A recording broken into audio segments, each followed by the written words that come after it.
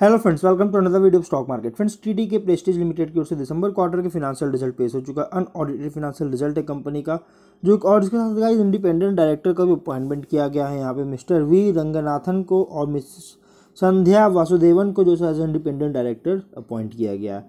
तो अब हम चलते हैं कंपनी के फिनेंशियल रिज़ल्ट पे।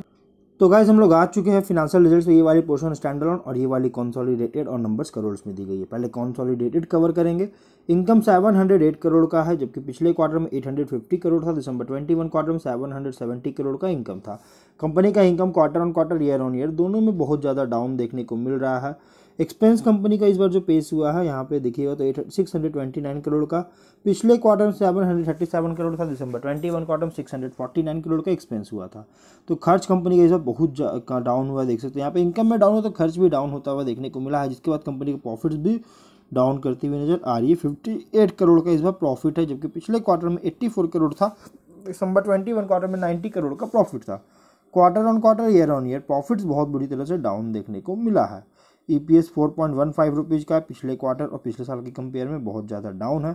तो गाइस देख सकते हैं कंपनी के जो रिज़ल्ट है कॉन्सॉलिडेटेड में बहुत ही ज़्यादा वीक रिज़ल्ट देखने को मिला है। अगर स्टैंड रिजल्ट्स को कवर करेंगे तो इनकम 665 करोड़ का पिछले क्वार्टर में 815 करोड़ था दिसंबर 21 क्वार्टर में 724 करोड़ का इनकम था। कंपनी का income quarter on quarter year on year बहुत ज़्यादा डाउन देखने को मिल रही है। तो गाइज़ इनकम के साथ साथ कंपनी का एक्सपेंस भी डाउन हुआ है 587 करोड़ का एक्सपेंसेस है जो कि पिछले क्वार्टर पिछले साल के कंपेयर में एक्सपेंसेस भी डाउन करती हुई नज़र आ रही है। मतलब इस बार कंपनी उतना अच्छा रिज़ल्ट पेश नहीं कर पाई प्रॉफिट देख सकते हैं फिफ्टी करोड़ का है। पिछले क्वार्टर में एट्टी फाइव करोड़ था दिसंबर ट्वेंटी वन क्वार्टर में एट्टी एट करोड़ का प्रॉफिट था। Quarter on quarter year on year दोनों में प्रॉफिट्स में बहुत ज़्यादा गिरावट देखने को मिल रही है। E P S four point one five rupees का पिछले क्वार्टर पिछले साल के कंपेयर में बहुत ज़्यादा डाउन है। तो यहाँ पे कह सकते हैं इस कंपनी यहाँ पे बहुत ज़्यादा वीक रिज़ल्ट पेश किया है, जिसको मार्केट नेगेटिव मिलने की उम्मीद है और इसके शेयर्स में भी गिरावट देखने को मिलने के चांसेस है। तो अब हम लोग वीडियो को यहीं पर एंड करते हैं। अगर कोई डाउट हो कमेंट बॉक्स में पूछे, मिलते हैं नेक्स्ट वीडियो में। Till then bye bye